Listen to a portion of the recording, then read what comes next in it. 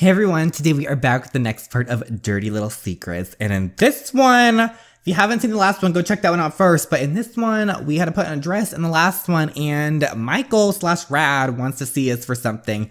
I'm nervous. We are snatched. We are locked up in an attic in an apartment complex, apparently. Our poor character, poor Joella, and the baby and everything. I'm stressed for her. I don't even know what's going to happen to her, so we're going to find out. So let's get into reading this. Give it a big thumbs up if you enjoy it, subscribe if you aren't already, and let's start the drama.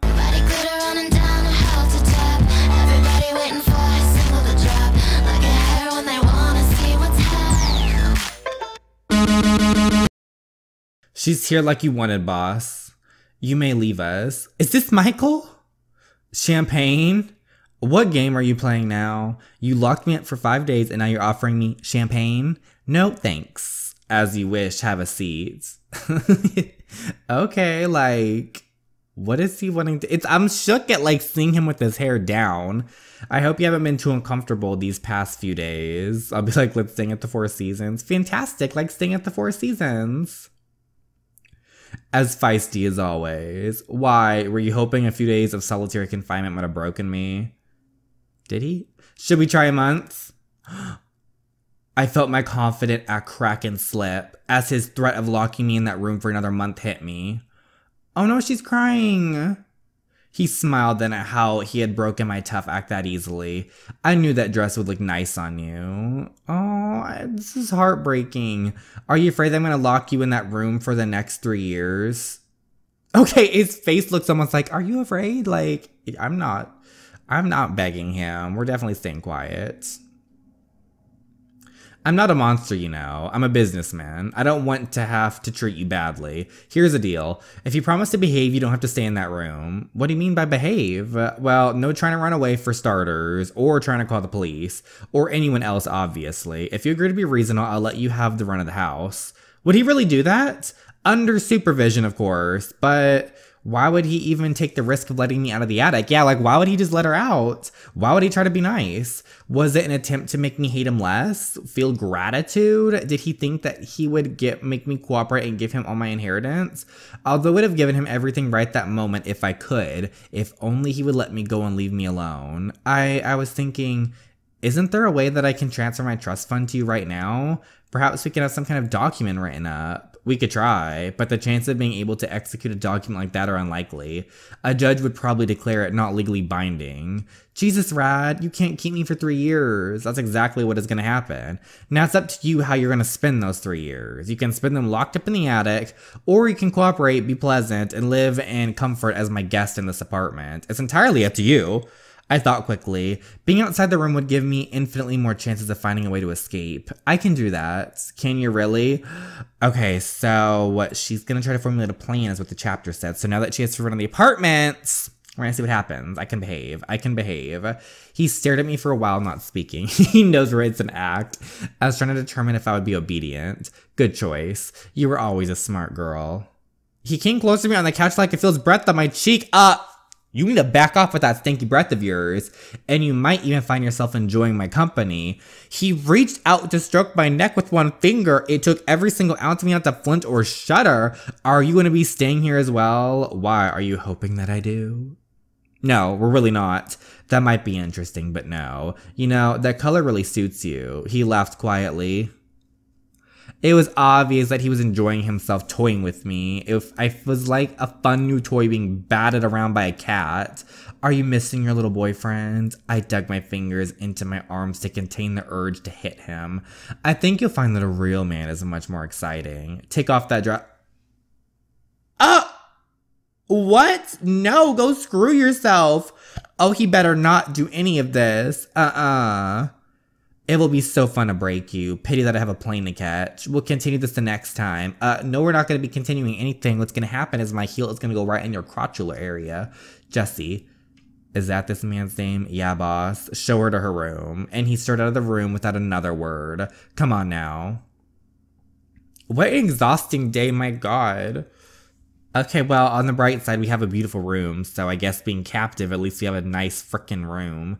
Boss got you some clothes in the closet. Wait, what? Are you gonna lock the door? Yeah. What?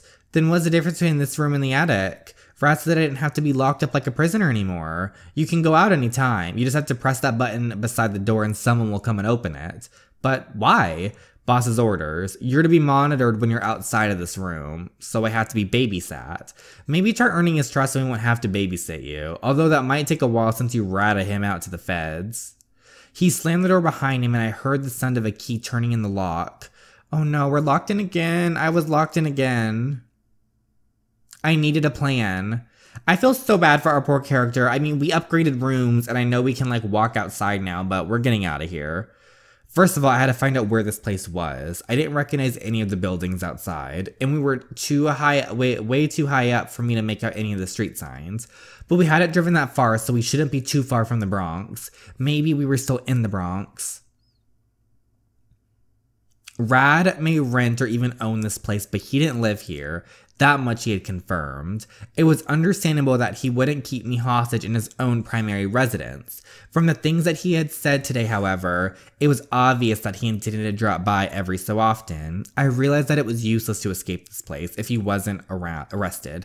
I would just constantly be on the run and in hiding. That's what I was thinking. It's like, even if she got away from this place, she would just be on the run 24 7, and he would stop at nothing to flush me out, exactly like he did before. The only way to be free of him forever would be for him to be to be apprehended. If only I could find out where I was, and somehow manage to contact C. She could put this place under surveillance till he came back again, and I had to do it fast. So, step one of the plan find out where I was. Step two, contact C. And the final step, stay put until he came back. Okay, so we're officially on the next chapter, y'all. So we're gonna go. We just woo. Let's see what happens. I had no idea when Rad was gonna come back next, but I knew what I was gonna do today. Today's plan: scope out the apartment and find out everything I could about the place. Oh, it's a different goon this time. Okay, so it's not uh Jesse this time. Yeah, I'm hungry. Come on then. There's food in the kitchen. Okay, so Oh, there's pizza. There's some pizza. A box is empty, so he must have eat already eaten. He had brought the pizza here with him when he came, or did he order pizza delivery? Hmm. I wonder if there are knives in the drawers. So look for the top drawer. They're only plastic cutlery, damn it. What are you doing? Just looking for a plate. A plate for pizza. Fancy, aren't you? You're right. Guess I don't need one. I can eat standing here in the kitchen, or I can take some pizza and go eat on the sofa. Okay, might be a good idea to try to be on friendly terms with my babysitter. That is what I was thinking. Like, if he trusts us, or I mean, just likes us, he won't be so suspicious if we're just, you know, a little check here, a little open here, you know, eat in the living room. Free because Cindy is a queen. I should definitely eat in the living room. just the awkward conversation we're about how to make. Uh I like how he's like telling us we don't need to play for pizza. Like, okay, what are you watching? Wheel of Fortune. I'm Noella. I know. Are you going to be your living here? No, girly. I'm just your babysitter for the day. Rad must have them watching me in shifts. As I choose to look, I glance discreetly around the room. Okay, let's take in what we need to so we can get out of this place. There was no phone anywhere in sight, of course. I glanced at the door. It was sure to be locked. I looked outside the windows, sky and other high rises. I didn't recognize any of the buildings. We were high up. Even if the windows could be opened, I wouldn't be able to escape that way anyway, not unless I could fly. With the jolt, I realized the goon had stopped watching the TV and was watching me instead.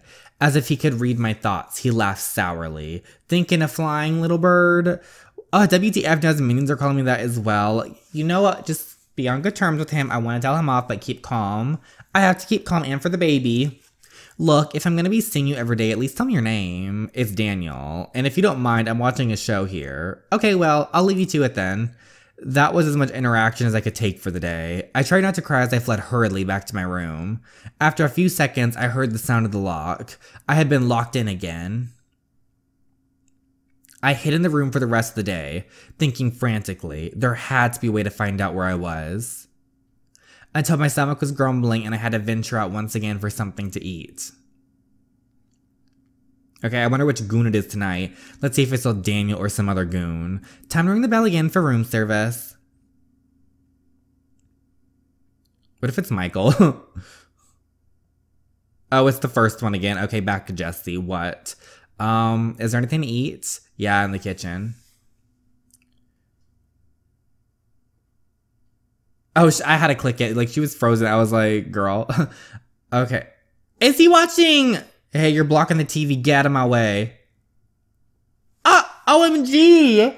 Uh, seriously? What? Oh my gosh. Yeah, okay. I'm definitely not going to join him in the living room. Fast food again. Are they going to feed me fast food for the next three years? This gives me an idea. But for now, I'm going to grab this and eat in my room. Okay, what is she thinking? Thankfully, Rad didn't come back that day. Hopefully, he wouldn't be back until I had a chance to carry out steps one and two of my plan. Okay, so we're at the next morning now. So something with the fast food is going to be an idea. Yeah. Is there breakfast? Come on. In the kitchen. Okay, let's see here. Bagels, not bad. Okay, so we're gonna chit chat with Daniel again. Hey Daniel, what?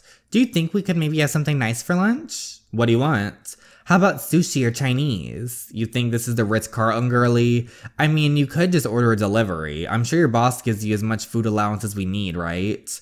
He looked at me suspiciously. Just thought you'd be sick of pizza too. We'll see. Cool. Okay, so I think she's scoping out the areas of what food restaurants are around for the delivery. Okay, so she's just been out. What did you say you wanted? Chinese? Okay, go back in your room.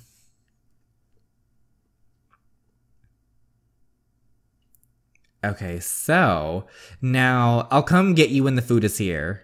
So I think she's gonna wait and see what the food. There was a click as Daniel locked the door behind me again. Now she just has to wait.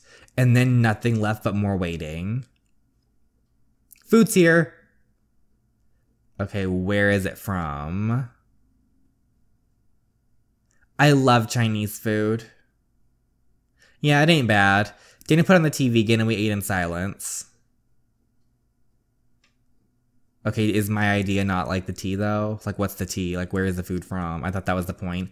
After eating, I stayed in the living room and watched Who Wants to Be a Millionaire with Daniel. He seemed to really like watching inane game shows. I'm gonna choose to ask the audience, Dave. I was starting to need to go to pee, but I had to wait it out.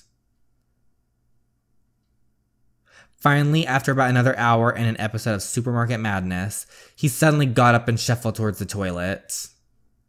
I had maybe 30 seconds before he finished peeing and came back. There was a slip of paper in the delivering bag, as I had hoped. I grabbed it quickly.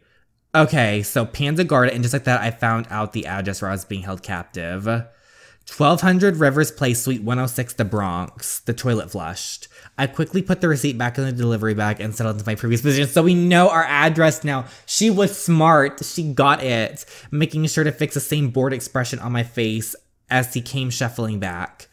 Ooh, she's getting it. Do you mind if I change the channel?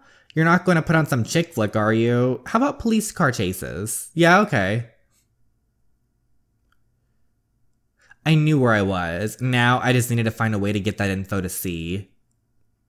Wait for me, Oliver. I'm coming back.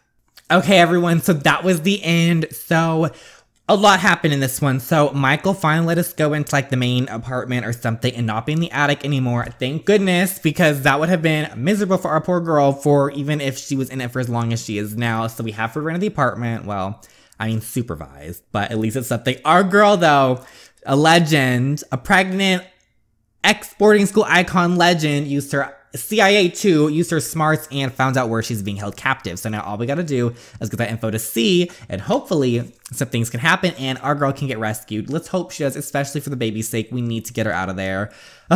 Anyway, I really, really hope you all enjoyed this. Thank you so much for watching as always, and I'll see you in the next one. Bye, everyone.